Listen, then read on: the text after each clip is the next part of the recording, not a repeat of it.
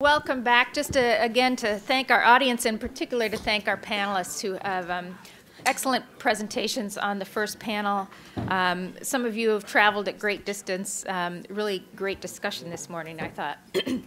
My name's Jennifer Cooke. I'm director of the Africa program here at CSIS.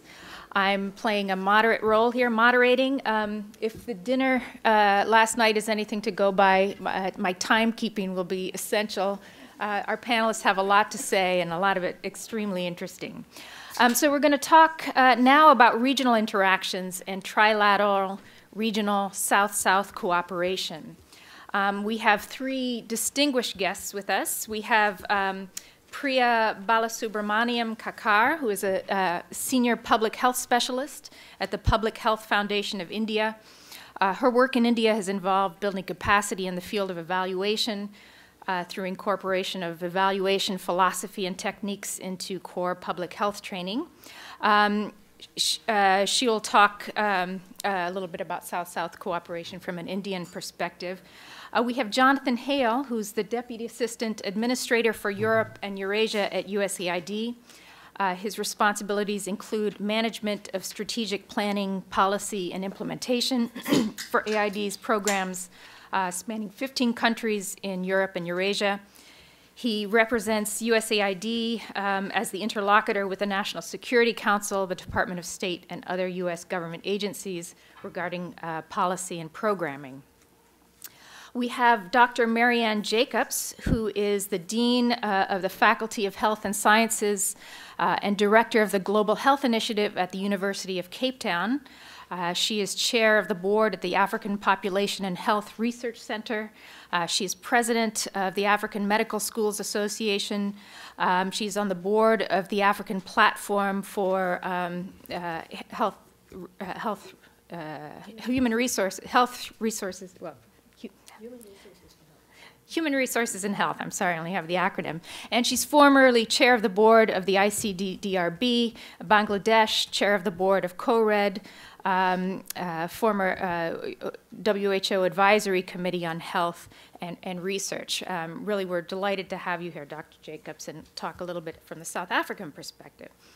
Finally, we have uh, Dr. Felix Rosenberg, who's director of the Itaboraí Forum on Public Health, on Health Policy, Science, and Culture at Fiocruz, Brazil. Uh, Dr. Rosenberg is also the acting executive director of the Union of South American Nations National Institutes of Health Network. I, am botching this introduction, name, is a long name. And uh, the acting coordinator and executive secretary of the Community of Portuguese Language Countries National Institutes of Health Network. Okay, my job is done now. okay. Um, we've asked the panelists to talk a little bit about the possibilities um, for health cooperation, South-South cooperation, trilateral cooperation, um, among the BRICS or, uh, or North-South, South-South, and, and, so forth. Um, getting to how important is the idea of South-South cooperation to these individual countries in their global health outlook. Uh, what are the challenges and opportunities presented uh, by horizontal or trilateral cooperation? It always sounds good in the theory. It's sometimes much harder to implement. Uh, and what are the advantages, disadvantages uh, to fostering cooperation on health within a regional uh, context? Um, so we're going to begin with Priya. Um, who has uh, PowerPoint. Um, and I'm going to ask, I'm going to give a one minute warning. We have a full panel with lots to say, so I'm going to try to keep good time so we have time for questions and answers. Thanks, Priya.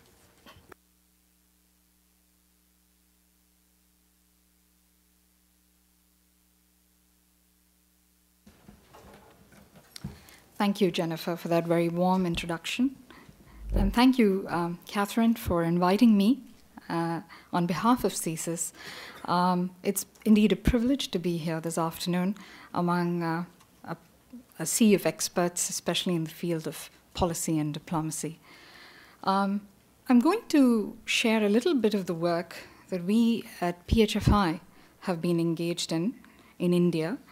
Um, and in terms of relating that to what we are talking uh, about today, both in terms of South South dialogues and regional cooperation, it would appear that my answer is already a little biased towards actioning South South collaborations. Um, what we have been, or rather, what I have been involved in the last one year is one of India's largest, I would say, since the Bhore and Sokhey report of 1946 policy exercises. India has finally decided to go to the route of universal health coverage. And uh, the Public Health Foundation of India was commissioned to be a secretariat to a high level expert group that looked across seven terms of reference to provide recommendations, guidelines, and a way forward for India to achieve universal health coverage for its 1.2 billion citizens over the next 10 years. Um, India has always been, uh, you know, bandied and bracketed as a, as global power, emerging power, bricks, mortar, whatever you may want to call it. Um, I'm not a diplomat, I'm a public health scientist, and I'll speak in that context. Um, the recent Time magazine article says very clearly that with so many of the world's economies in tatters, and the combined might of China and India could spearhead global growth in the coming decades. Are they up to the job? So, this will allow me to set a little bit of context for universal health coverage. Um, I am a public health specialist, so forgive me, I have to look at health metrics one way or the other but it might give you some context as to how and why India decided to approach health with the kind of rigorous um, and almost disciplined agenda that they have uh, come about with um, as commissioned by the Planning Commission. Um, India is a, is, a, is a growing economy, it's a large, chaotic democracy, and it has a lot going for it. But despite economic growth, um, a lot of diplomatic dialogues in India have traditionally focused on trade and investment. Health has often been relegated or often neglected as something that actually takes away resources from the country. Uh, but evidence has now pointed very firmly in the direction that health is a key driver to economic growth. And like education, health has to be looked upon as an investment in this country not only within a national context, but within how India perceives itself in the global arena. Uh, quickly going through some of the metrics here, we have one of the largest numbers of underweight children in India, 46% under three years, current infant mortality rates of 50 per, per thousand live births.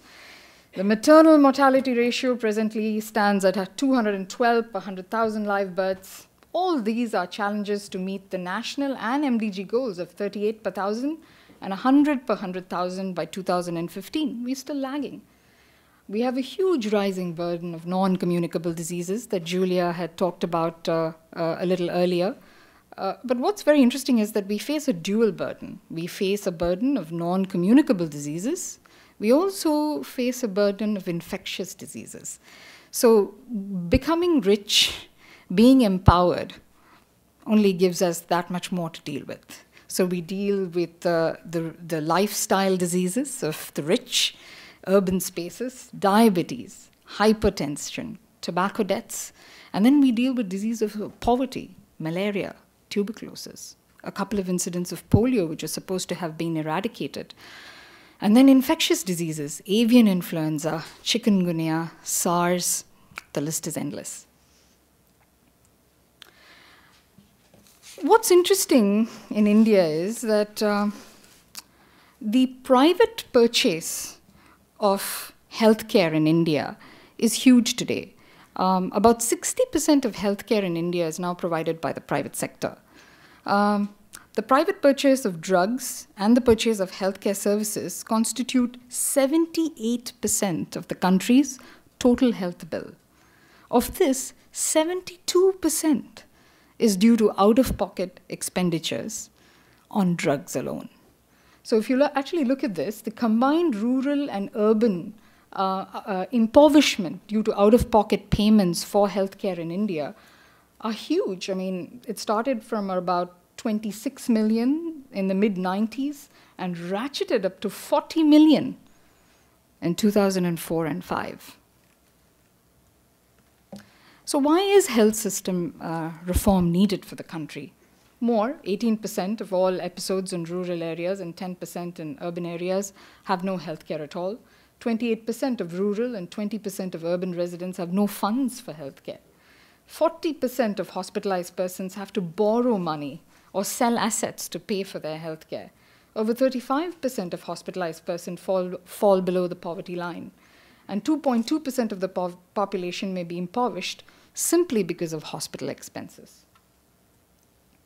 So, this sets a little bit of the policy context for this exercise. Um, a high level expert group, as I'd mentioned earlier, was convened uh, by the Government of India to mandate a framework for universal health, and the Public Health Foundation uh, was appointed as secretariat. The review process for this document was interesting. Rather than view this as just another policy exercise to collect dust in the Planning Commission, we didn't know the future of this report, what would happen to it. Um, what was interesting is that it was complemented with the experience of other countries. It highlighted what worked, what was relevant, what could have been replicated, along with limitations of various approaches. And this is where the context of both South South dialogues and also um, interaction with regional level partners and players within the geopolitical context of India comes into play. The report consulted a slew of network of experts from Brazil, China, South Africa, more importantly, our neighbor in Thailand, as, and others as well, North America, Britain, Europe, the OECD countries, the World Bank, the WHO. And then we look at disparities I mean, India is, geogra- is, a, is geographically a heterodox, huge diversities, huge population. I mean, just looking at the infant mortality rate, Madhya Pradesh, 72 by over by 4,000, Uttar Pradesh, 69 per thousand, Tamil Nadu, drastic reduction, 35. What an aberration. Kerala, even lower, 13. The neonatal mortality rate varies from 11 in Kerala to 53 in Odisha. That's the kind of disparities that the country is looking at. Now, how do we compare with some of the other countries? If you look at infant mortality per thousand live births, we have 50, China 17, Brazil 17, Sri Lanka 13, Thailand 12. Under 5 mortality per thousand live births, India 66, China 19, Brazil 21, Sri Lanka 16, Thailand 13. Percentage of children who are fully immunized 66 in India, 95 in China, 99 in Brazil, 99 in Sri Lanka, 98 in Thailand. And our immediate neighbors, Bangladesh has 85% of all children immunized by the age of one, and Nepal, 80% immunized by the age of two. Birth by skilled attendants, similar metrics. And what about public spending on health? India, 33% uh, of total public spending as per GDP, 4.1 total public spending. Public spending on health as percentage of GDP, 1.4, but this is an overestimation, it's about 1.2. Sri Lanka, 1.8, China, 2.3, and Thailand, with the achievement of universal health coverage, 3.3%. The same with hospital bed capacity. Where do we stand? Between Sri Lanka, it's 3.1, China, 3.0, USA, 3.1, UK, 3.9, and India, 0.9%. There's a huge disparity here. So, where does this all lead to eventually? Um, I mean, historically, while financial protection was a principal objective of this initiative for universal health coverage, it was also recognized that dealing with universal health coverage spans infrastructure, the health workforce, um, access to healthcare services, reforms in management, the participation of communities and civil societies, access to affordable medicines, healthcare protection and financing, and last but not the least, social determinants of health. This was actually added on, it wasn't part of the original terms of reference.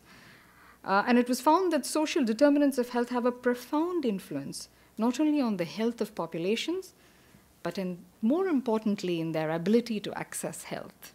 And that and therein lies one of the main challenges of the healthcare system in India today. There, were, there was additional focus on urban health, gender, the role of public private partnerships, and information technology enabled health services. So, what was our vision for universal health coverage? It was seen as a universal health entitlement for every citizen to a national health package of essential primary, secondary, and tertiary health services that will be funded by the government. And what does this mean for India uh, in terms of universal health coverage? What was the pulse that we were getting from the government? Uh, for once, it seemed to us that to the government of India, the kind of political will that went behind this whole exercise, universal health coverage meant a lot of things. It meant greater equity, a great leveler for a country with huge social and political disparities. It meant improved health outcomes, which reduces spending on health. It meant an efficient and accountable and transparent health system free from corruption. It meant reduction of poverty. It meant greater productivity in a country that's crippled by a slew of chronic and non communicable diseases. And it meant increased jobs. Uh, an estimated 24, 24.5 million jobs are estimated if universal health coverage is brought about in the country today. So, the provision of healthcare would mean strengthening of public services, especially primary healthcare. And for this, we look to our partners in Brazil, we look to our partners in Thailand, we look to our partners as far as Kyrgyzstan and Sri Lanka, and looked at how they strengthened and focused on primary healthcare to bring about greater equity and lower costs in providing universal healthcare uh, we have suggested that private providers of health be contracted into the system as per need and availability with defined deliverables, and ultimately integrating primary, secondary, and tertiary care aspects of health through these networks of providers public, private, and public and private partnerships. And all this would be regulated and monitored for cost and health outcomes. Uh, I'm not going to dwell too much on this. I know there's a paucity for time, but I'll give you a few key recommendations. The first one was the government should increase public expenditures on health from the current level of 1.2% of GDP to at least 3. Point, at least 2.5% by the end of the 12th plan and to at least 3% by 2022. The second quick win that we wanted was the availability of free essential medicines by increasing public spending on drug procurement. I repeatedly heard in the previous session that India has this fantastic pharmaceutical eh, industry, huge manufacture of generic drugs, they bring down the cost of drugs. But the reality is, a lot of these drugs are simply not available for the Indian market. You walk into a public hospital in Chennai or Delhi, you won't find drugs and that's one of the key deterrents of people going into the public system, using public services, because they simply don't have the medications. They go outside, they buy drugs in the free market. Some of these are spurious, some of these are about cost, and eventually that's where the 72% goes of OOPs uh, towards drugs. And finally, general taxation as a principal source of healthcare financing complemented by additional mandatory deductions from salaried individuals and taxpayers, either as a proportion of taxable income or as a proportion of their salaries. Um, we've also advocated the removal of user fees for national health services, and this applies for even those who have the financial capacity to pay. The reason is because I think the group viewed, the expert group viewed um, univer uh, universal health coverage as, a, as something that transcends the narrow, often inadequate, and sometimes inequitable uh, um, definition of universal coverage as universal health insurance.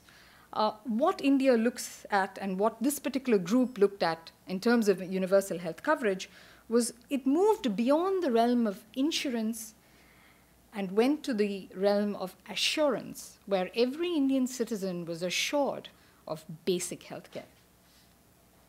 Um, we recommended a package of financing that was flexible with differential norms uh, that would be proposed to states who are very, very powerful players of healthcare access and delivery in India, and recognizing both physical and socio-cultural diversities of these states. The other quick win that we went for is the 15% allocation of public funding for health to drugs. And the state must procure all essential drug list medicines. There should be centralized procurement, quality generic drugs should be ensured, and warehouses at every district level. We borrowed heavily from the Brazilian model here. Um, these are some of the management reforms that we have suggested, but in the paucity of time, I will not pause here. But let's move on. So, what are the immediate health? What are the immediate outcomes to this whole exercise? It's interesting. Uh, we had an interesting conclave on the 27th of November where we invited a slew of international experts to comment. They came from different countries India uh, itself, local experts, Sri Lanka, Brazil, and experts from multilateral agencies, WHO, the World Bank. Um, they not only gave their comments on the report, but they also evaluated it and shared some of their comments with the Planning Commission when the report was formally presented to the Government of India on the 28th uh, of November. On December 1st, the deputy chairman of the Planning Commission, the Planning Commission, by the way, is the money bags of, uh, of the Indian government. They hold uh, the purse strings and also determine how much spending health would get for the country. Uh, Montek Singh Ahluwalia, the deputy chairman of the Planning Commission, announced in public uh, what I perceive as a major coup of this entire exercise that healthcare spending in India is to go up by 2.5% in the 12th five year plan, which actually is being compiled as I speak and will be released and tabled in Parliament by January of next year, 2012. And that's it. That's the immediate quick win that we achieved is pressing the government that for any kind of health reform, any kind of health parity, we need the funds to make it, uh, to, to achieve some of those goals. Here's another headline. Uh, here's how the United Party Alliance, which is the current ruling party of India, can seduce the common man. Universal health care as a game changer that will truly reform India. And finally, a third one by the Times of India, December 5th, that's yesterday. After many wrongs, the Planning Commission has just got it right. Universal health coverage to become a reality in the upcoming five year plan.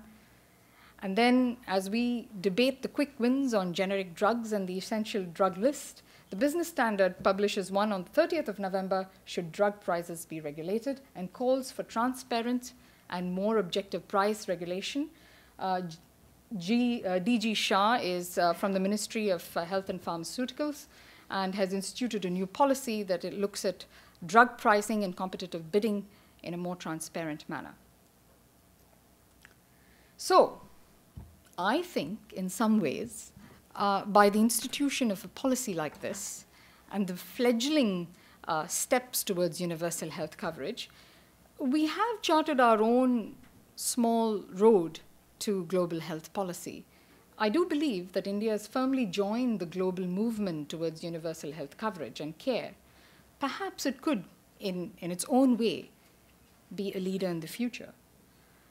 And universal health coverage in this context places health in the center stage of global country agendas. When you look at our fellow countries, Thailand, Sri Lanka, countries in Europe, Spain, um, and countries in the developed world, Canada, New Zealand, um, um, and, uh, and the UK, these are all countries where universal health coverage has evolved as a movement.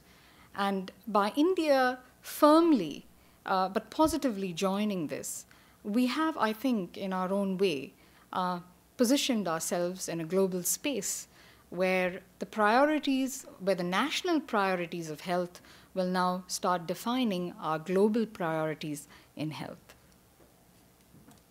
So, why a South South context? Um, it's interesting because I think Peter in the earlier um, uh, in, his, in his very beautifully articulated speech, had, had talked about the uneasiness of the BRICS and the evolving, shifting dynamics of the various agendas of different countries. I cannot speak for the BRICS, uh, except that India has to first look at its own national agenda before determining its space in the global arena. Um, some similarities in terms of why South South dialogues would work, a similarity in terms of environment, in terms of political, economic, and historical and geographic uh, agendas in countries. Uh, for example, Bangladesh, Thailand, Sri Lanka, and some of the ASEAN countries have a very close agenda with India, both in terms of historical, political, and economic contexts, living conditions, disease dynamics. Non communicable and chronic disease affect parallel countries in the region at the same time. Bangladesh has had the tsunami crisis, huge resurgence of infectious diseases. Pakistan had the earthquake, a huge resurgence of infectious diseases there. And uh, health systems, the ability to learn from each other's health systems and put into place mechanisms that can make uh, health systems within the country work better based on proven agendas in other countries. So, what are some of the opportunities? Health systems, the ability to collaborate in technology, low cost technologies in Bangladesh, for example, the use of zinc supplements uh, has, has greatly benefited maternal and child health. Telemedicine, in fact, uh, based on the SAARC agenda, India, Nepal, and Bhutan have actually uh, put together an agreement where they will use telemedicine to effect changes in maternal and child health indicators. Disease surveillance, I mean, this is a huge area of cooperation.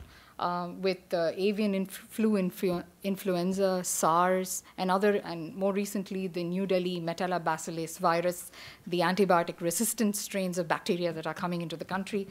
Um, using regional cooperation to monitor, uh, survey uh, diseases, and to be prepared for pandemics uh, is a huge area to foster regional cooperation affordable medicines. I mean, the use of generic drugs has time and time again been the focus of health agendas in other countries. And it's time that India started interacting with them to talk more about TRIPS, uh, re evolving India's own generic drug agenda, and also issues regarding manufacturing and distribution of drugs.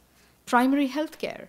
Uh, we are all countries who are grappling with unsanitary unsanitary conditions, lack of safe water and hygiene. Thailand actually has 97% achievement of good drinking water and, and sanitation, and it's resulted in a huge drop in their infectious disease rates.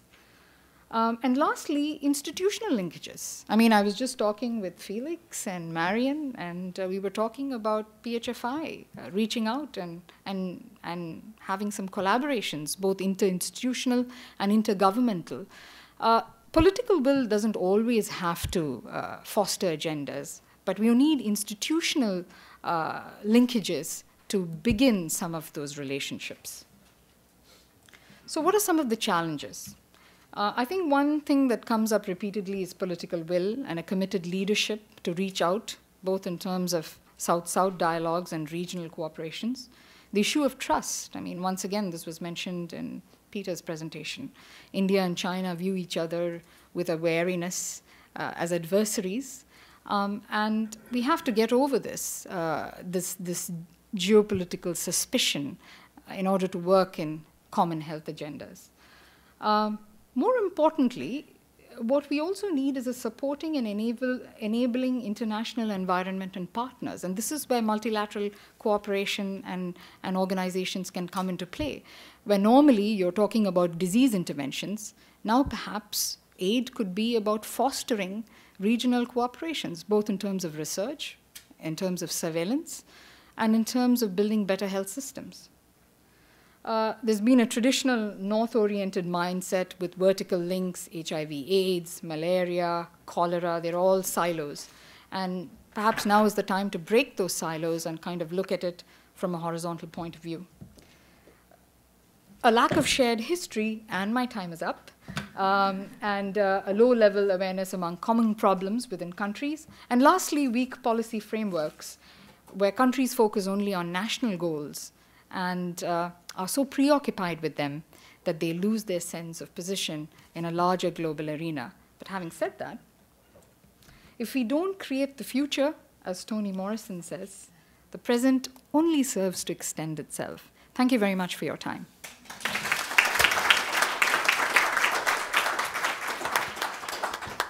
Thanks very much, Priya.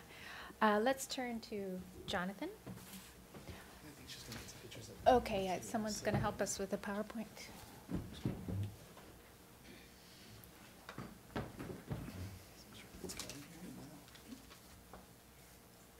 Yeah. Good morning. I um, am Jonathan Hale. I'm Deputy Assistant Administrator for Europe and Eurasia at USAID, and I'm here to speak about cooperation with Russia on global health and development. And I want to thank CSIS for the opportunity and for the important work that they're doing on the BRICS to start with. Today, USAID is working with Russia as a development partner, while we still also cooperate on remaining challenges in Russia itself. As a G8 member, Russia has expanded its development and global health assistance around the world over the last five years. It has worked and is continuing to work through multilateral organizations like the World Bank, and we heard about this in the first, first panel. At this point, Russia's total bilateral and multilateral development assistance to other countries is about $500 million every year. Russia is in the process of joining the Organization for Economic Cooperation and Development, and at this point, it is not a member of OECD's Development Assistance Committee, but it may be in the future. Finally, Russia is also in the process of setting up its own development agency, which is set to launch this year, and I'll talk a bit more about that later. The U.S. and Russia have a rich legacy of working together on health issues. And thanks to the reset in relations initiated by the Obama administration, the U.S. and Russia have been able to cooperate more closely on a number of global challenges, including those impacting global health and development.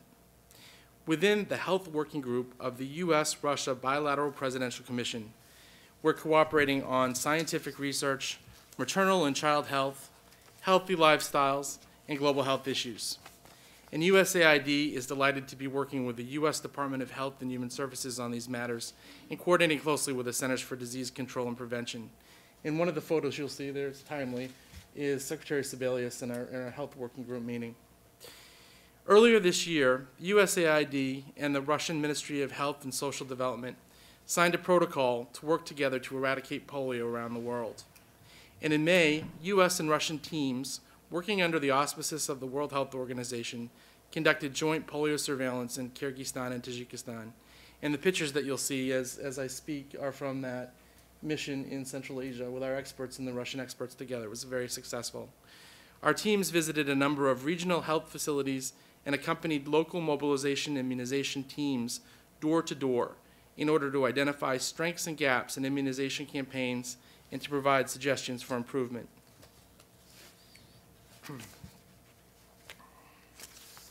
U.S. and Russian technical and financial collaboration contributed to rapidly stopping the polio outbreak in the WHO European region that impacted at least four countries. And the work of the U.S. and Russian teams helped secure determination from WHO's Regional Certification Committee that the region was again polio-free. We continue to actively promote cross-border coordination and planning and we're looking at our next steps in the global fight against polio. This fall, I also started a dialogue with the Russian Ministry of Health about possible U.S.-Russian cooperation on malaria. And we're in the process of exploring how and where we might cooperate and whether it will involve training, surveillance, or eradication efforts. And the Russians are already working through the World Bank to train African doctors and to take part in other anti-malaria efforts in African countries, where USAID is also active. There's also interest in trying to understand the remaining problems with malaria in Central Asian countries like Tajikistan and how we might work together to combat them. I just want to mention a few other areas of bilateral cooperation on global health between the United States and Russia. Later this week, the U.S. and Russia will participate in the delivery of 180 wheelchairs, which are being donated to Kyrgyzstan. And the U.S. and Russia are also deepening cooperation on international disaster response and emergency medicine. We've held a joint tabletop exercise are now planning an exercise in a third country. Over the last few years, USAID has also supported the deployment of Russian doctors and health experts to African countries, including Namibia, Botswana, Ethiopia, and Tanzania, to build capacities needed to fight HIV, AIDS, and other global diseases. And finally, USAID has been in a dialogue to share best practices as Russia sets up its own development agency. The Russian Ministry of Finance is taking the lead on this agency within the Russian government. USAID recently hosted a study tour to the United States for representatives from Russian universities in Moscow, St. Petersburg, Yaroslavl, and look, will look to introduce them to leading American universities with development assistance curricula. Another goal of the study tour was to expose Russian professors to perspectives and experience of practitioners in international assistance from the U.S. government, the NGO community, and international organizations. To be sure, U.S. cooperation on development with Russia is relatively new, and both sides are trying to work closely together as development partners, but it's had its challenges. For instance, we've had to overcome the language barrier and clashes, clashes of institutional cultures between relevant agencies. And of course, funding for any foreign assistance effort today is under strain in the difficult global economic environment. Still, trust is being built on both sides. And as our experience in the health sector illustrates, by building capacity and working together, we can have a significant impact on major global development challenges. There's great will, goodwill on both sides, and it is very positive. The U.S. and Russia do not always see eye to eye or share common interests. However, engagement in the health sector has been positive and constructive, and we look to continue it in the future and build on it. Where we do face common threats, from infectious diseases to global poverty, we need to continue to deepen our cooperation for the sake of Americans and Russians and the rest of the world. Thank you.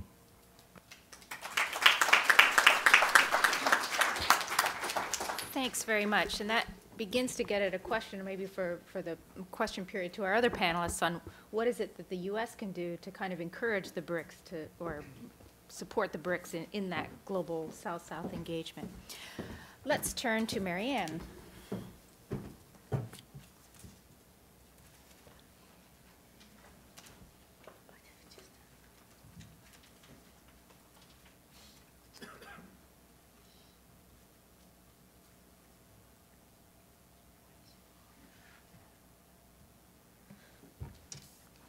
Good afternoon.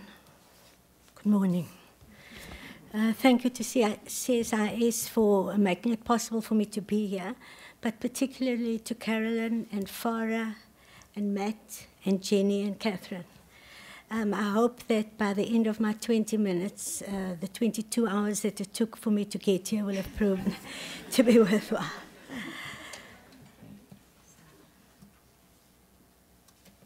So I, I've, I've chosen to look at uh, India, Brazil, and South Africa and not the whole of BRICS because, like uh, Peter, I don't think that the BRICS alliance makes uh, good sense, particularly for global health and global health equity. So, if one looks at global health in the 21st century, I think there's a lot to be said for the uh, achievements, uh, the reductions in children's mortality, the technological achievements, but of course, this is juxtaposed with uh, an agenda that still has a far way to go in the world in terms of equity across the world. The response of the world has been uh, a number of phases. Peter spoke about it, starting with tropical health, moving into international health, and more recently, in the last 10 or more or 20 years, this phenomenon called global health, which has unleashed a tsunami of global health initiatives public-private partnerships, public sector, private sector, um, threatening actually to overwhelm us. So within all these global health initiatives, the question is, what is the place and contribution of the Global South? Can the Global South make a contribution to global health equity? And so in this context, I believe, and I'm going to argue, that it is time to revitalize South-South collaboration.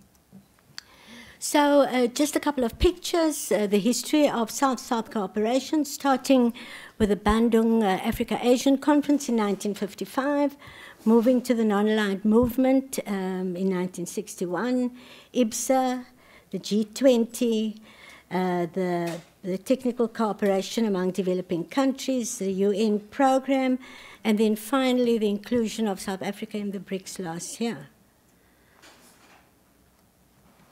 So in, uh, in 2009, the UN decided to have a high-level meeting to review progress among these South-South uh, cooperations over a period of 30 years. The meeting was held in Nairobi in Kenya, and these are the, the issues that emerged from this 30-year review, that emerging economies play a lead role in South-South cooperation. Uh, they address transnational challenges, there are both bi and multilateral initiatives are relevant. The networking, the interest of emergence of triangular co cooperation, meaning South-South-North, the number of regional and interregional initiatives that are possible, and the place of South-South in global negotiations and trade, finance and investment was made as a clear recommendation. So Busan uh, endorsed the idea of South-South uh, cooperation for development. Um, there was a uh, there were several meetings leading up to the Busan meeting. It was held last week, and uh, there's even a handbook towards effective South-South and triangular cooperation. If uh, anybody needs guidance on how to do it, fairly simple handbook actually, with a couple of kind of 18-point font guidelines on how to do it. So, uh, can India, Brazil, and South Africa then be a useful model for looking at South South cooperation for development? Well, IBSA was established for three main reasons because the three countries share democratic credentials, because of their status as emerging economies that a number of people have spoken to, and also, very importantly, because of their potential to engage in the world with other major global players.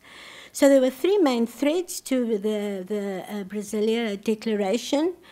Uh, that IBSA would be a political forum, it would look at cooperation on projects, and very interestingly, that each country would donate a million uh, dollars a year to support poverty reduction projects in other parts of their respective regions. But the whole initiative of IBSA and I guess BRIC has challenges. And this is a paper from the South African Institute for International Affairs by Senona, and he asks, can, are these forums neoliberals or in disguise, or are they truly champions of the South that they put themselves out to be? And the challenges that IBSA faces are, um, one of them was raised by a, a question in the last session. Each country needs to look at its economic progress in the world against social uh, development and redress for internal inequality. And you will know that the Brazil and South Africa's Gini coefficients are among the highest in the world, so we have that challenge. Should there be regional solidarity, or are people actually in it for global advantage? Um, and, and for looking for global power. Is this just another political wave, or is this truly a global development commitment? And the challenges of IBSA's governance, its plans, its resources, and accountability in this really loose alliance that doesn't have a constitution or an overall plan is challenging. So I believe that uh, there is a place for looking again at how health development can be um, accelerated through a partnership between the three countries.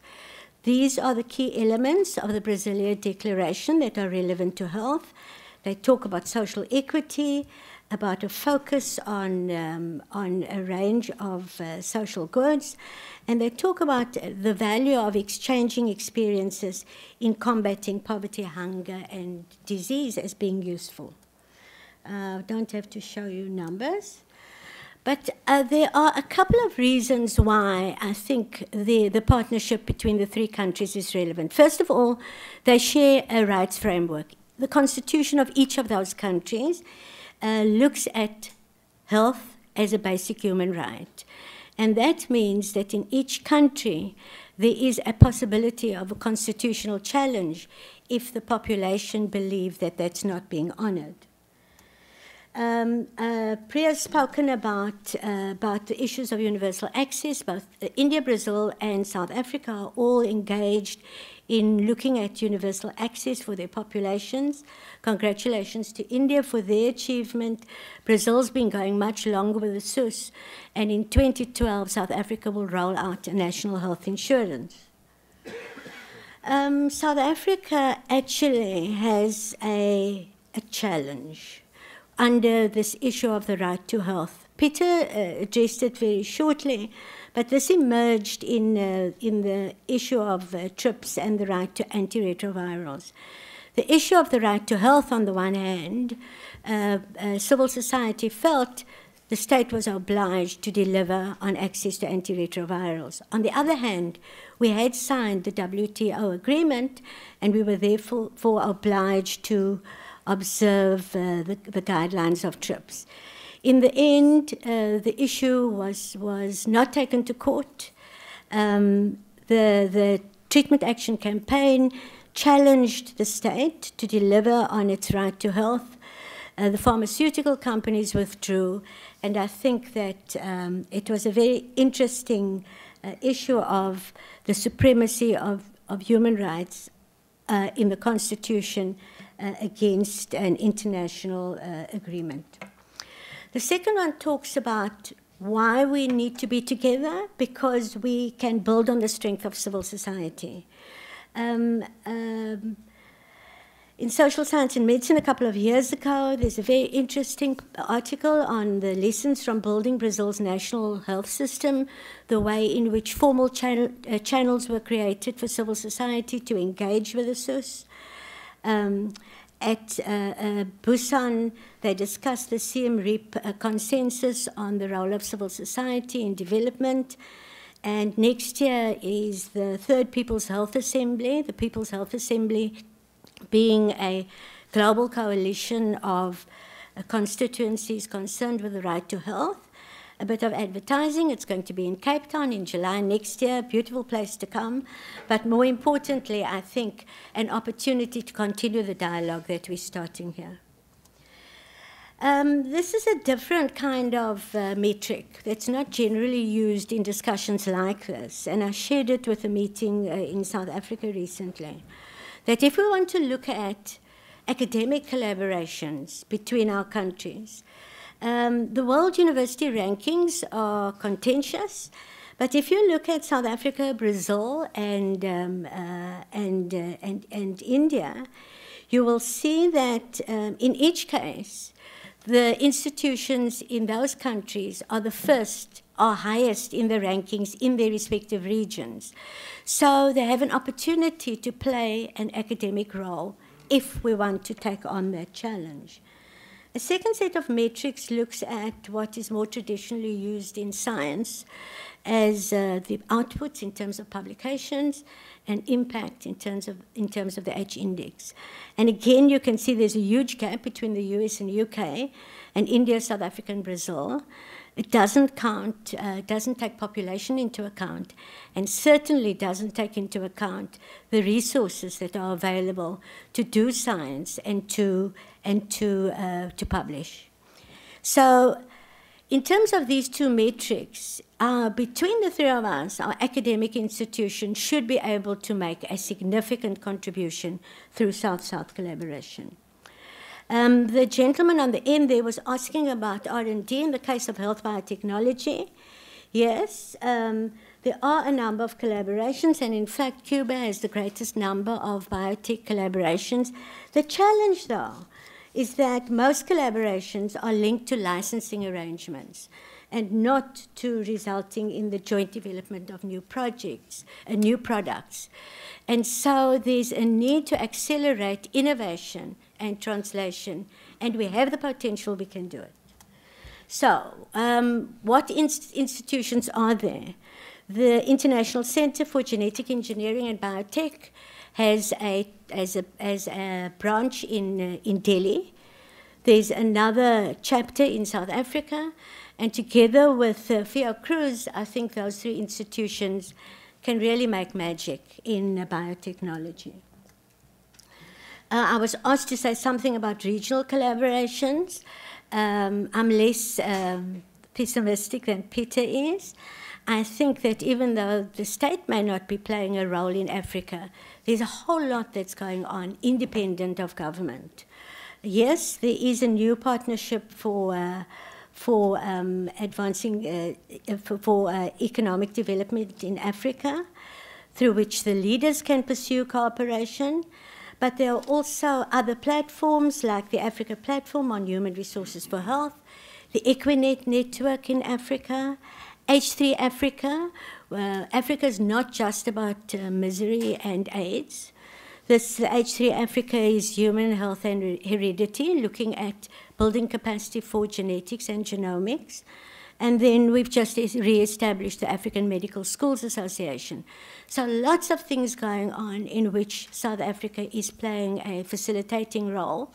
And again, with the World Bank, Africa Development Bank, and Capacity Plus, looking at community of practice uh, projects with Sean Naronia on the other side. So I believe that the time for IBSA Health is right. Uh, the three countries are implementing universal coverage. There's a prevailing concern about global health governance, a threat of declining ODA, and we have a chance to be the gateways to regional solidarity and health development. So, what then are the next steps for our three countries in contributing to the South South cooperation for um, health development? The first one is I believe that we need to have an active engagement in health development plans. There's the NCD Summit, the World Conference on Social Determinants. COP17 has just happened in Durban. There's a high level forum on, uh, on aid, uh, aid effectiveness. There's a commission on global health governance. I believe that we need to get in there and have our voices heard in there. Because if these different summits are not coordinating their recommendations, I think we can perhaps do it through harmonizing efforts a, from a southern perspective.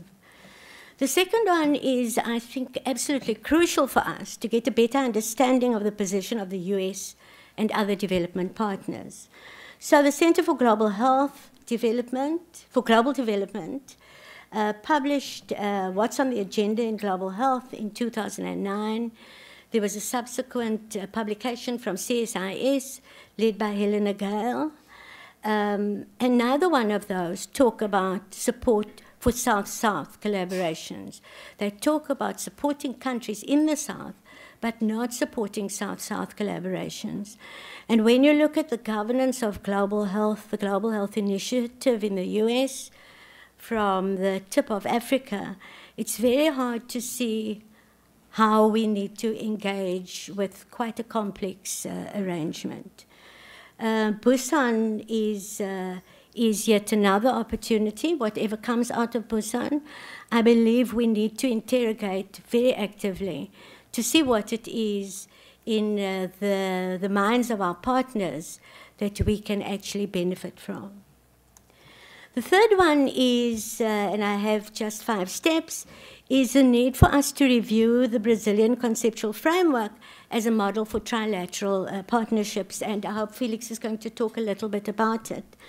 Um, this uh, Celia Almeida and Paulo Buss published this in the Lancet, but they talk about structural cooperation in health, and they have a set of uh, principles and talk about the need for long term engagements, which is based on the need of the countries, the need to strengthen whole system capacities and not just bits and pieces like uh, the HIV directorate in, in a government, the opportunity to promote dialogue among actors.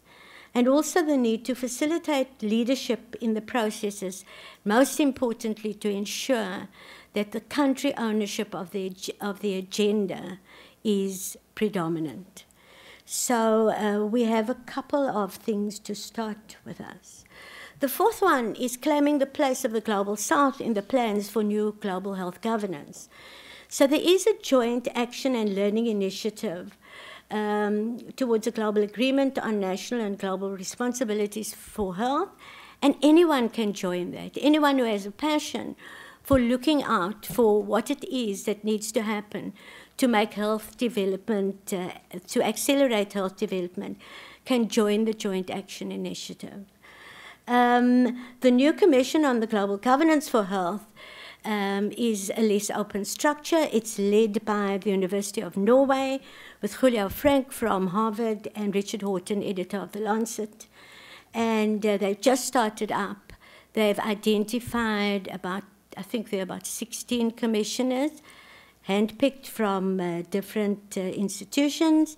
And one looks forward to see what mechanism of engagement they are going to use to take up issues like the, um, um, making sure that the voice of the global south uh, gains greater prominence, particularly when the Commission is led by northern institutions. The last step, I believe, is moving to action. So, what do we do after we've met here? We've come, we've come a hell of a long way, and my hope is that something will happen after today. I think that we need a commitment from the IBSA leadership to make a bigger space for health, um, to look at how the IBSA countries can work more closely with one another on a more expanded agenda for health, to support the IBSA countries in their quest for supporting regional engagement, to truly become uh, champions of the South, of the global South, and possibly to look at how IBSA needs to interact with the G20 and other fora. The challenge is that if one is only going to look at state actors participating in these uh, structures, you may not get as far as if we look at the non state actors like civil society and like academic institutions. We are going to need dedicated leadership. Um, I think that the the IBSA presidents are perhaps have big issues that they are having to deal with other than meeting every uh, couple of years. They're now also having to go to BRICS meetings, and there's a chance that IBSA can be dwarfed by BRICS and the original intention to strengthen uh, participation, uh, partnerships may be lost. We need a plan, a clear plan that has a goal, that has values, that has principles, and mostly that has clear outcomes. And lastly, I think we need a monitoring and reporting mechanism that is more than just an occasional report that one picks up off the internet. Um, the, that mechanism needs to track progress with the plan, it needs to show impact, and it has to have accountability.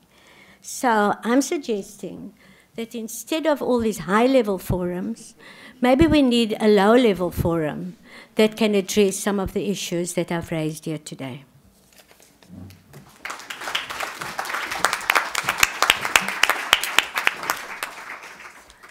Thank you, Dr. Jacobs. Excellent and uh, right on the nose. Let's turn to Felix. You can use this. Thank you. Uh, morning. Uh, I think it's always a big challenge to, for, for us, Catherine's uh, uh, pledge to, to speak in very few minutes so huge, large, complex matters. But the third time being with her, I'm trying to learn.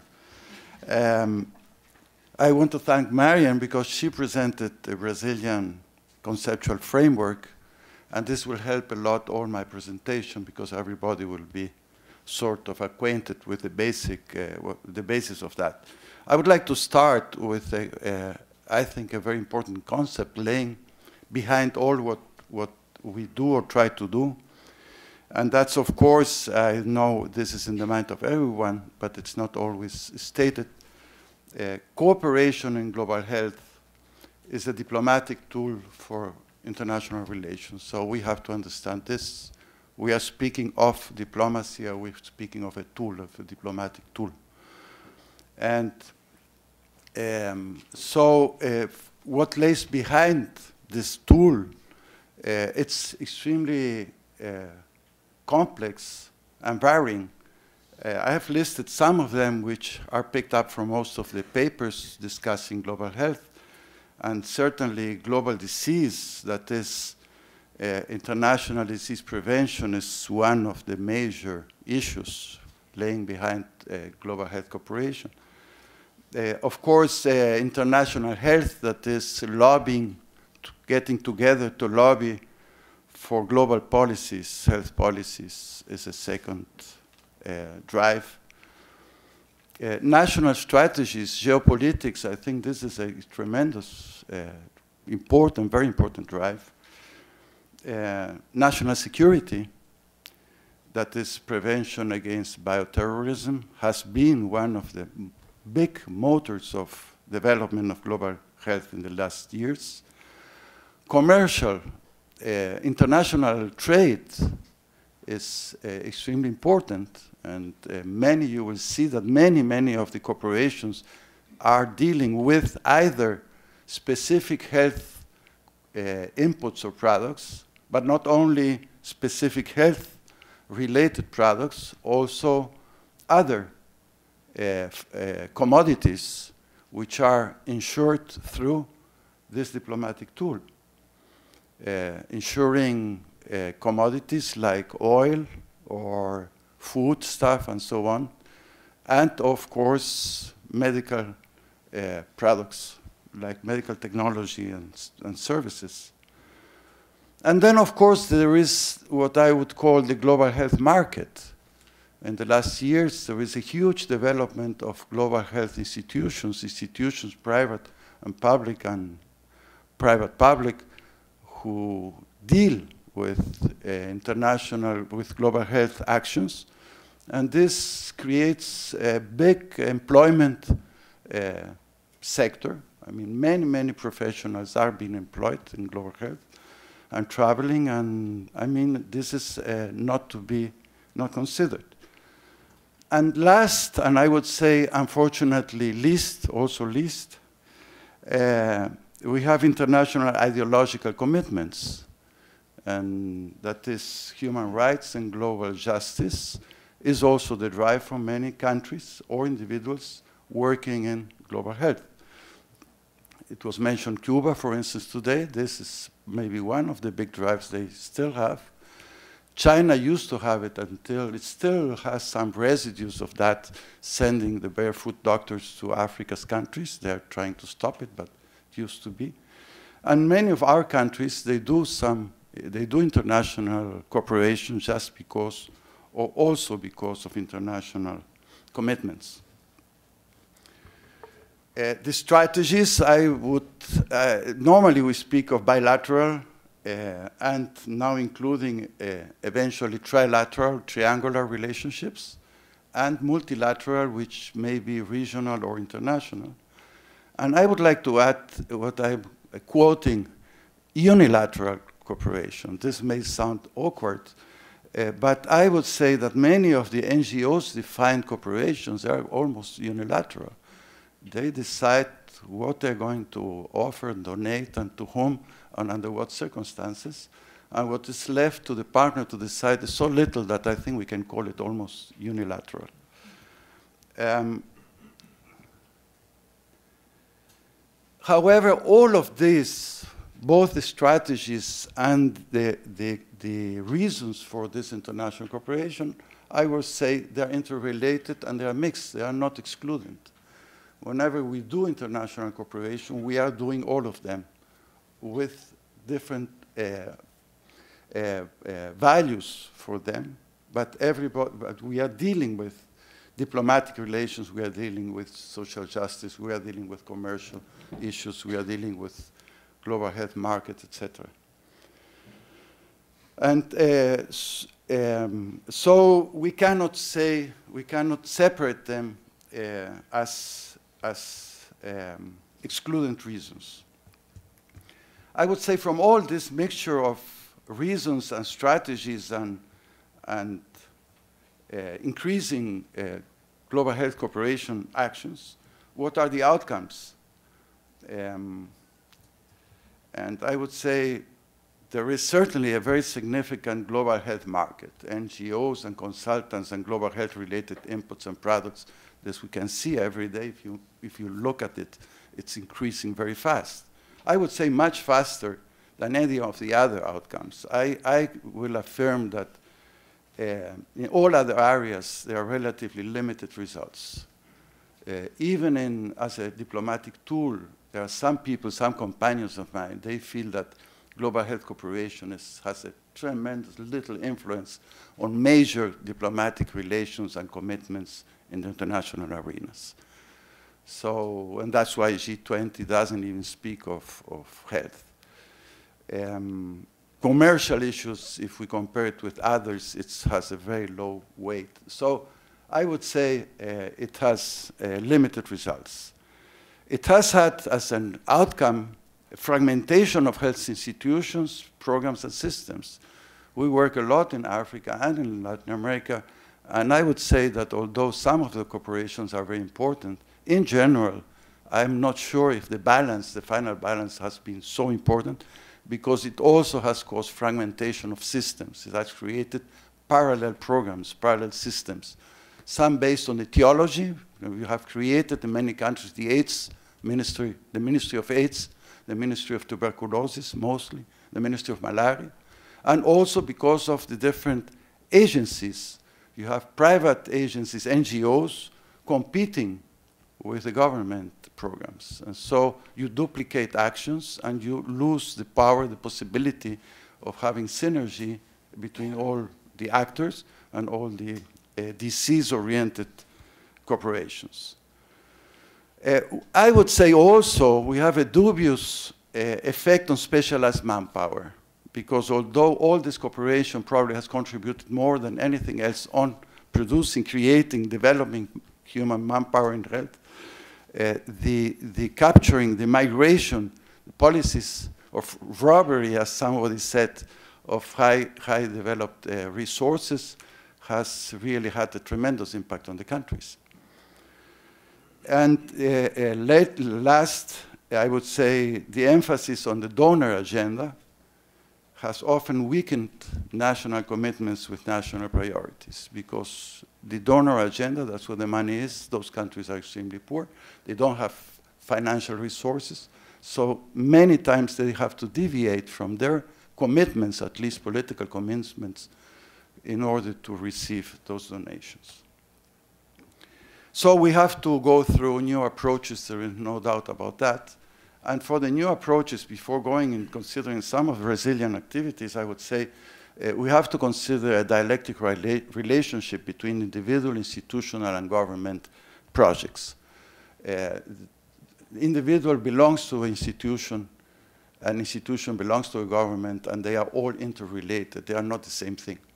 One depends on the other one. So we have spaces, opportunities, possibilities of acting by individuals, by institutions, and by the governments, uh, interacting, one influencing the other one. But they are not the same thing. I want to insist on that. And also between the donor and recipient countries. And for that to consider the relationships between donors and recipients, when I mean dialectic, it means they both influence each other, and from their influencing each other, you get to a new outcome. You produce a new solution. It's neither the donor or the recipient, it's neither the individual or the institution. You get mutual influences. And then we have to consider the levels of asymmetry between the donor and the recipient country. And this is probably the most important uh, thing to consider. If you have a very as asymmetrical relationship, it's very hard to have trust and commitment in the cooperation. So what are the emerging practices? The requirements from our point of view, from Brazilian point of view, is first of all, as Marian put it, it has to be structuring cooperation. That is, you have to help develop and consolidate strong national health systems and health structures. And this is a major consideration. Anything going away from that or anything not going towards that end is not going, it's not solving this big challenge.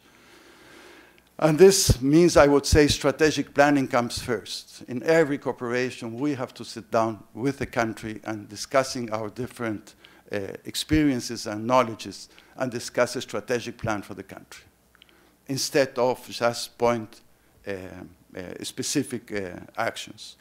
Secondly, peer, that is horizontal relationships, we have to have a joint learning, both countries working in cooperation learn from each other or from the cooperation. It has to be based on mutual commitment and mutual trust, principally. And I would say something which probably is going to cause a very big debate in here. I would say only, and this is our view, only with governmental or at least governmentally linked institutions. The question of who represents civil society is a question which has been put forward to, today, and this is extremely present. Uh, NGOs is something.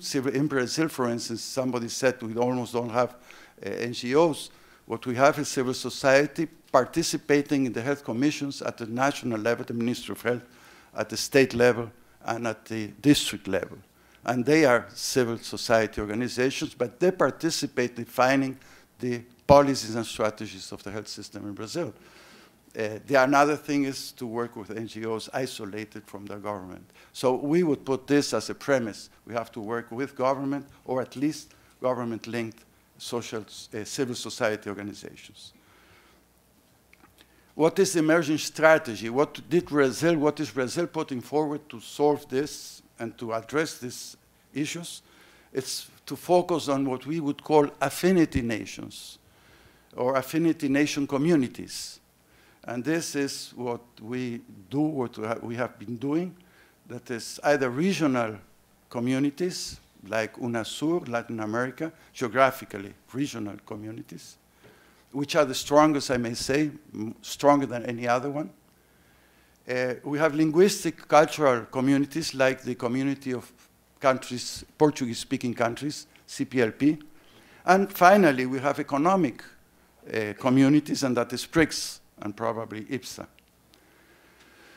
We have to try to include bilateral and multilateral international within the affinity nations communities. We cannot discuss, well, this is a bilateral project, this is a multilateral. We have to try to get the synergies, so include bilateral relationships between the multilateral ones. And whenever possible, I think this is the most important breakthrough, we have to work with through trilateral that is North-South-South cooperation.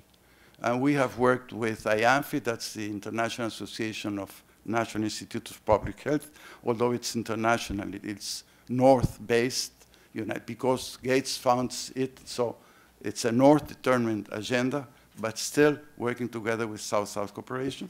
The World Bank has worked with us in a fantastic experience with the Portuguese-speaking countries the US CDC has worked with us in a beautiful experience and very learning experience, uh, challenging experience in Mozambique. We are working with Canada and with the European Union now in what we consider the first priority issue in UNASUR, and that is to develop uh, national laboratory networks, uh, institutional networks. So our priorities, as I say, are UNASUR, and some related countries, like we have a strong uh, work with Haiti and with El Salvador, uh, but mostly South American countries, with CPLP and with BRICS. And from the three, the national priority is certainly UNASUR and probably extending to Latin America in the future. Finally, to finish some examples uh, from our perspective, in UNASUR, we have been working, first of all, getting in the health sector with developing a five-year strategic plan for UNASUR. That means that all of the 12 countries sit together and discuss what is their midterm cooperation plan. We discuss it together at the same table, the same room. What are we going to do together in order to cooperate uh, within, among us?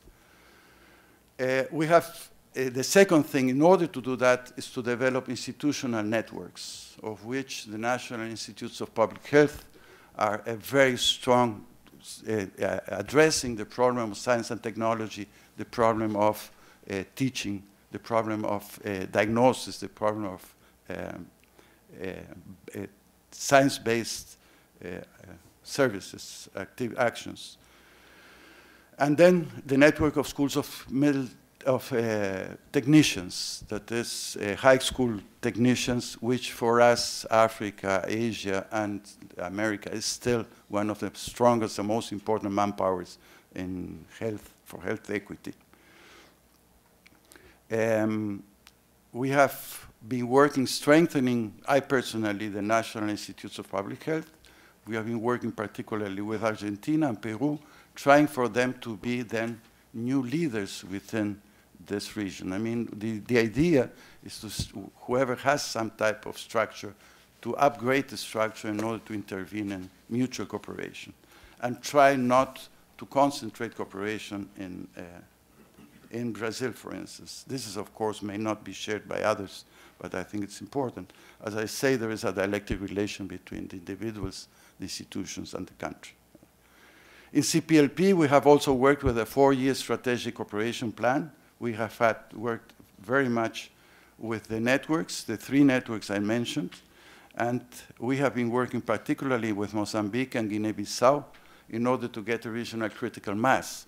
And now they decided, we all decided to eight countries, Portugal, Brazil, five African and East Timor, that we have to concentrate in developing new uh, public health institutes in the countries who don't have it. And that's the smallest countries. That is San Tomé, Principe, Cape Verde, and East Timor. They're islands and they're very small countries. So when you go to an overall international global health discussion, strategic discussion, what people will say it's not cost effective uh, because there are too few people. And I mean, uh, we cannot speak that a country who, who has a small population is not cost effective. They have the right to have their system and their structures as much as any other country. So now we're working together with Portugal in order to try to develop those institutes in those three very small countries. It's a challenge to get finan financing for that, but uh, we are trying to try to solve it. And finally, BRICS then. BRICS is a completely different perspective. Uh, from what I can see now, it has had its first health uh, meeting in China this year. And uh, it seems that health inputs, that is drug, vaccines, kits, either for production or for development, joint development, may be the big issue among those countries because they have the basis to do that and to increase accessibility to, to drugs and vaccines in the world, particularly in the South world. Is there a possibility for joint cooperation within, uh, with third South countries? I think there is. For instance, uh, with China to work together, CPLP and China, for instance, in East Timor would be an ideal thing to work in our case with CDC, China's CDC, uh, because they are nearby and they have more cultural affinities. Uh, we can work with China and Mozambique with East Timor so the possibility of working and maybe with uh, South Africa, it's a very important issue to work with South Africa together with Angola and Mozambique, because there we will get together the CPLP linguistic, our linguistic, with the regional uh, commitments which, which, are so strong. So just, uh, I'm just finishing by saying uh, this, uh, we have to work, uh, as Marian already put it, in the same table discuss together what really we all need, and this is the big difference with uh, traditional donor-recipient cooperation. Thank you. Great.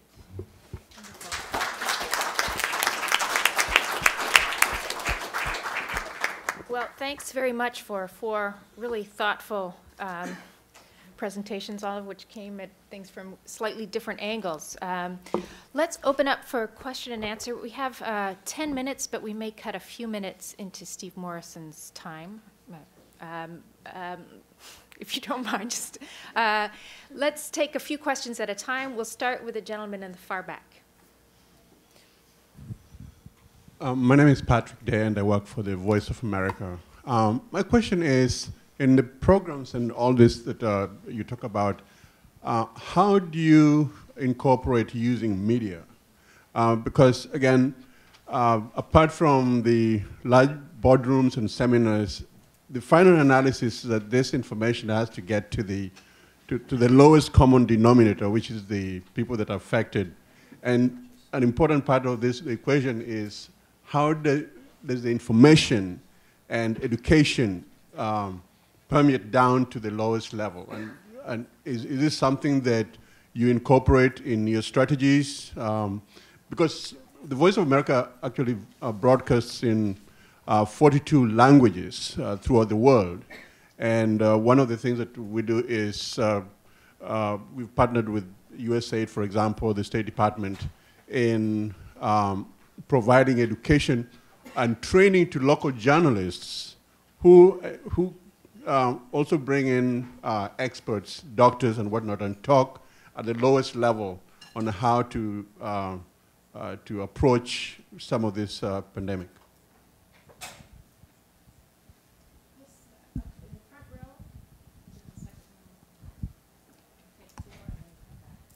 Um, hello, my name is Vesna Kutlesic, and I'm with the Eunice Kennedy Shriver National Institute of Child Health and Human Development here in Bethesda, Maryland. And my question is to what extent are children a priority for BRICS um, countries, particularly child health, early intervention, um, education? Thank you. Hi, good afternoon. Brian Leamy with GBC Health. Uh, Priya, I think, opened the, the session appropriately with some GDP statistics and, and the importance of health uh, to countries' economics. And I think that the private sector really recognizes that importance as well. And I, I, I was nervous that there would be no mention of the private sector in all of these cooperative um, uh, opportunities. And, and then we, we did hear Felix uh, allude to the idea of the commodities and, and those in, in the pharma business as well as food and oil, et cetera. Um, can you speak a bit more, just anyone on the panel, about uh, engagement strategies for the private sector uh, as they truly represent a big base of their employees uh, for the communities, but also uh, have vested interests, uh, certainly in these growing markets? Which uh, may sometimes compete among, among the, the BRICS or the IBSA at least, competitive interests. Was there one? Yes, gentleman there. Uh, Brad Teitel again from Global Health Strategies. This, I think, is kind of an expansion of all these questions, which is um, as the BRICS become more engaged in global health and global health assistance, particularly, uh, I was wondering what, if any, role you think the kind of groups that are in this room, uh, particularly international NGOs, uh, could play to help accelerate and facilitate this process in a way that's you know respectful of the strategies and approaches of the individual countries, but also hopefully helps maximize health impact. Why don't we um, take these, we'll go, we'll go in the order that we spoke, um, and you can pick off whichever you, you, you needn't answer all the questions, but pick off the one that you think, or the couple that you think are most, uh, you have most to say on. Um, sure. Um, uh, with regards to the first question of how you can engage media, I can speak from, from the Indian subcontext, um, at least where universal health coverage is concerned. Uh, I mean, our next phase of engagement, once the policy unfolds into an implementation plan, is advocacy through the media. Uh, we do have to go down to the lowest common denominator, especially for state level engagement. Uh, what's also interesting is that a lot of the states within the country um, have their own regional engagements. For example, Tamil Nadu uh, does borrow heavily um, from the Sri Lankan model um, and from a couple of the ASEAN countries as well. Um, so I, I, think underestimating the media is, is, is, is, a far cry if we have to engage uh, regional cooperation within a larger context. But as far as the universal health coverage movement goes in India, we do plan to not only engage regional media, but even local level media to get the message of health equity across. So um, it is a huge and, an ongoing part of our advocacy efforts uh, in the next stage. Uh, let's go to John. Okay, I would just say first on the child and maternal issues, that's a major priority for Russia. Russia's made quite a bit of progress in infant mortality, and they actually just had an international conference in early October um, just to highlight what they've done and also to talk about how it can be shared internationally. And I think that that's an area that will be of great interest to, to, us in working with Russia in third countries and trilateral cooperation in the future. And USAID is actually the um, leader of the child and maternal health subgroup of the health working group of the BPC. So I would also just want to highlight that on NGOs, of all the work that USA does around the world, capacity building and working through NGOs is very important, and particularly in this part of the world. In, in Russia, most of our work, I would say the majority of our work, is through NGOs and, and, and working to strengthen the capacity of local NGOs. And that's certainly something I think over time, as we develop what we do, we will want to try to continue with, with Russia in, in third countries as well.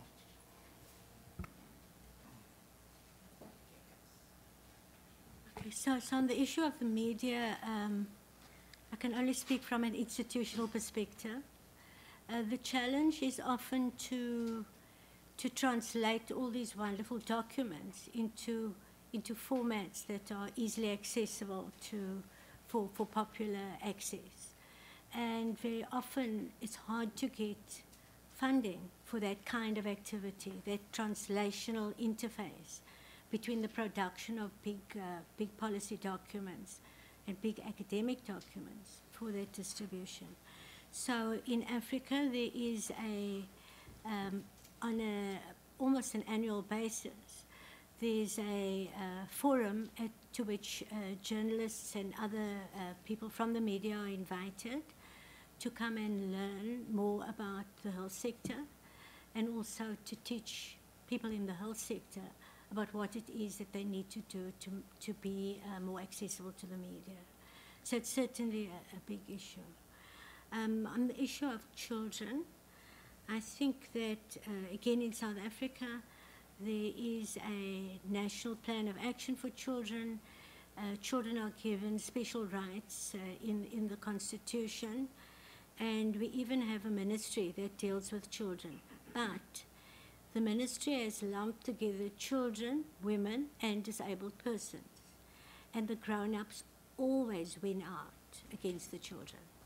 So the important thing is to keep, to have some kind of watchdog structure. And fortunately, there are several of those in the country. Uh, the question about international NGOs. Um, the, the, the challenge for us is understanding what it is that you guys can do.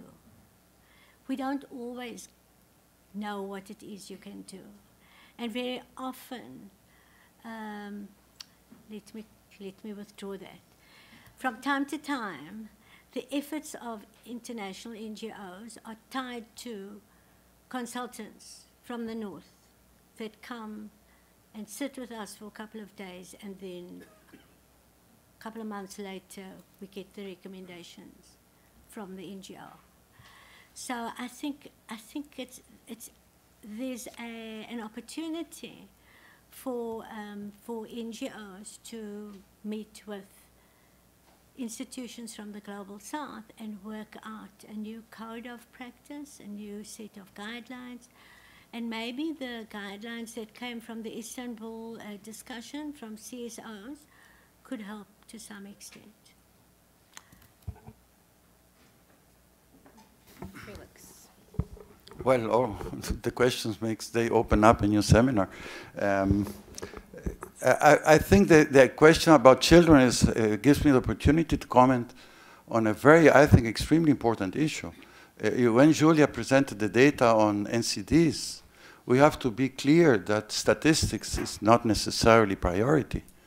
You may have 75% or 80% or 60%, whatever, in non-transmissible diseases, but you still have the poorest people in the world carrying children mortality and female mortality because they are not taken care of. So we have to be extremely, have extreme attention to that. Where certainly if we control transmissible diseases and expectancy of life expectancy increases, we will have non-transmissible diseases as a major cause.